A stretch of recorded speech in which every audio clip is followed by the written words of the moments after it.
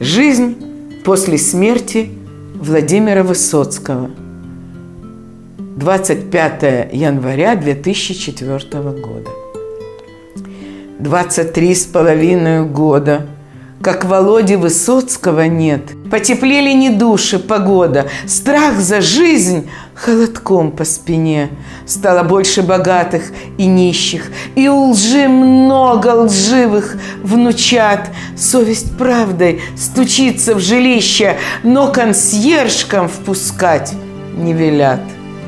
23 с половиной года, плюс Чернобыль, Манхэттен, Чечня, но, как прежде, в тисках несвободы мы скулим у чужого огня. Двадцать три с половиной года земли предков страдают от ран.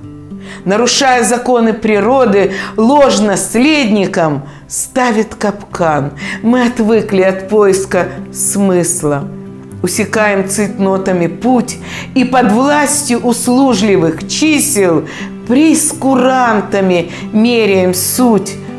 Но я верю, придет избавление, снова станет свободным наш дух, мы познаем себя как творение светоносных, божественных рук. Слово доброе ключиком станет, и молитва плоды принесет – нет, Высоцкий не умер. Он с нами о свободе и правде поет.